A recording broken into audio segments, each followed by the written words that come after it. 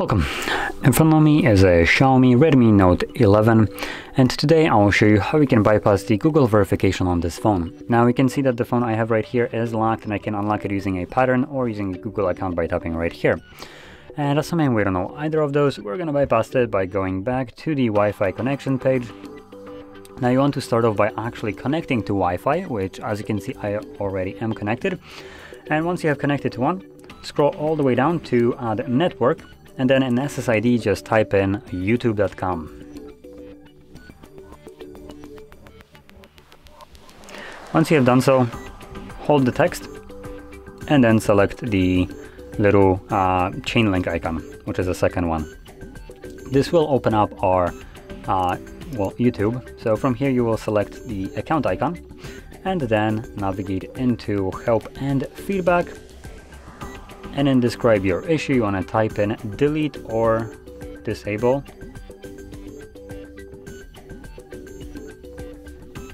Uh, now, once you type in delete or, it should show up as a suggested. So delete or disable apps on Android. Click on the suggested option right here. And from here, we're gonna simply tap on the top to go to application settings. In here once it loads up our apps you want to type in or not type in tap on more show system and we're looking for android setup which is right here. Now it looks like we have two of them so keep that in mind. I'm to start off with the first one and i'm just simply going to select disable disable app and then i believe i also need to force stop it or not Okay, so I'm gonna keep it on. So I have disabled the setup, then I'm gonna go to the second one and for stop and okay.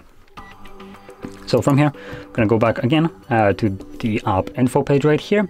And we're now looking for Google Play services. So scroll down to G. There we go. Google Play services is right over here. Click on it and same as before, disable disable up and also for stop and okay. And last things last, we're gonna now go back again and we're gonna scroll all the way down to settings. There we go. Uh, now again, we have two different settings. So we want to open up the first one, which is this one uh, with this specific icon, as you can see. Now, if you open up the wrong one, don't worry. Uh, one of them just simply won't have the open option right here. So that's the one that you're looking for. From here, you're gonna select obviously open. And from our settings, we're now gonna go into accessibility uh, settings, which is uh, under additional settings.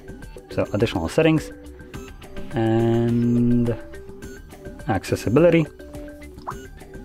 And in here, we are looking for accessibility many and you want to toggle it on and select allow. As you can see, it gives you this pop-up letting you know that this is the accessibility menu right here. So click on OK. And we're now going to back out to the Wi-Fi connection page.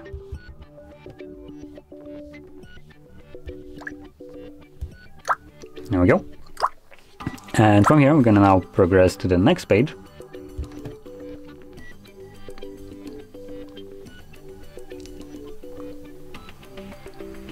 And it will be stuck on this page now for basically ever unless we do something. So that is what we're looking for. And now go, comes the tricky part, I guess. So you're gonna click on the accessibility menu, then you're gonna go to Google Assistant, and it does nothing. Let's try it again. Add Flickr, Flickr, and there we go. There is a settings option which disappears after a moment. You wanna click on that settings. This will open up our Google Play Services page that uh, where we it looks the same as the one that we have disabled. And all you need to do is select enable. And as you see this is kind of like tricky doesn't want to always open. Oh, no it was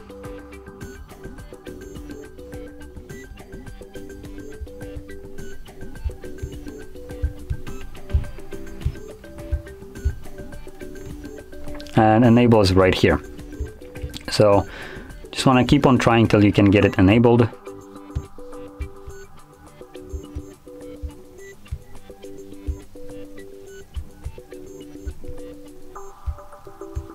There we go. So I have just enabled it and from here you're gonna go back and this will simply skip the page where we need to verify. So we're gonna now finish up the setup.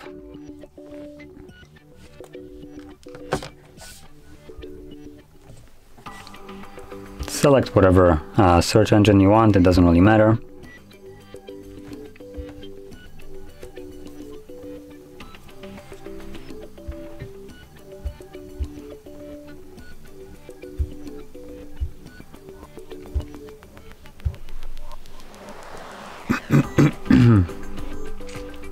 now once we gain access to our home screen, which should be any moment now,